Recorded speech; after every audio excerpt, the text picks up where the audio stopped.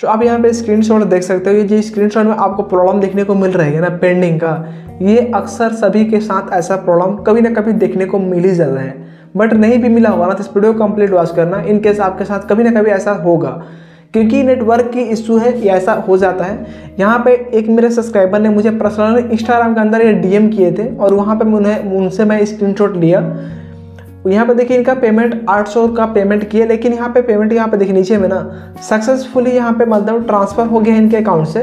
आप यहाँ पे जैसा कि देख सकते हैं, लेकिन जिनके पास ये मनी ट्रांसफ़र कर रहे थे, उनके बैंक में ये मनी यहाँ पर मतलब रिसीव नहीं हुआ है, उनका ऐसा कहना है।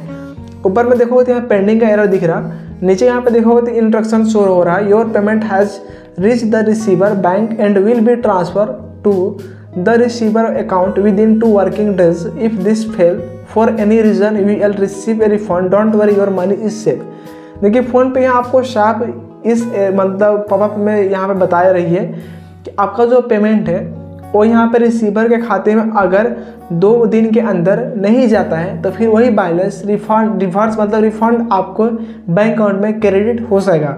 आपको डरना नहीं है, आपका बैलेंस है, बिल्कुल सेफ़ है। तो फिर आप डर क्यों रहे हो? देखिए, ये प्रॉब्लम मेरे साथ अक्सर हुआ हुआ करता था क्योंकि मैं ज़्यादातर यू यूज़ करता हूँ। तो ऐसा हो जाए ना तो आपको, आप मतलब जिस मर्चेंट की दुकान पे हो या कहीं भी हो तो आपको सिंपली कुछ नहीं करना है ना, आपको दूसरा पेमेंट कर देना है, जो सक्सेसफुल चला जाए। क्योंकि देखिए, ये जो पेमेंट यहाँ पे दिखा रहा है ना, दो दिन का टाइम लिया है, दो दिन के अंदर रिसीवर के खाते में भी जा सकता है। लेकिन 95 परसेंट चांस है कि रिसीवर के खाते में जाएगा ही नहीं। आपको रिफंड आएगा। सिर्फ़ पाँच परसेंट ही चांस है कि पाँच परसेंट चांस में हो सकता है कभी कभी रिसीवर के खाते में बैलेंस चल भी जाता है, लेकिन ऐसा सिर्फ़ पाँच परसेंट ही चांस है। तो फिर आप डर क्यों रहे हो? 95 परसेंट तो चांस है ना कि आपको रिफंड मिल जाएगा। तो यहाँ पर जब भी आप पेमेंट किसी मर्चेंट के अकाउंट में कर रहे हो तो वहाँ पर आपका जो मोबाइल के जो नेटवर्क है ना, वो थोड़ा बेटर होनी चाहिए। आप बहुत तो ऐसा करते हैं कि नेटवर्क थोड़ा अप डाउन हो रहा है, उसमें ही अपना पेमेंट कर लेने, करने लगते हैं तो ऐसा में ही प्रोसेसिंग होता है पेंडिंग होता है।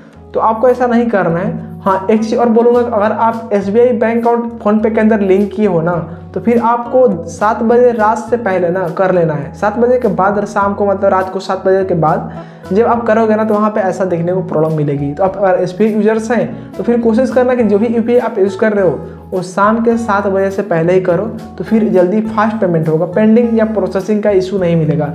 बट हो भी जाए तो डरने की ज़रूरत नहीं है। एक से दो दिन या तीन दिन मांग चलते हो, तीन दिन वर्किंग डेज़ होनी चाहिए।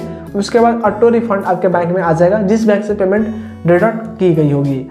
मुझे मेरे आपको समझ में आ गया होगा, फिर भी कोई क्वेश्चन कन्फ्यूज़न रह गई हो। इंस्टेंट इस आईडी पर मैसेज करके हेल्प ले सकते हैं। Thanks for watching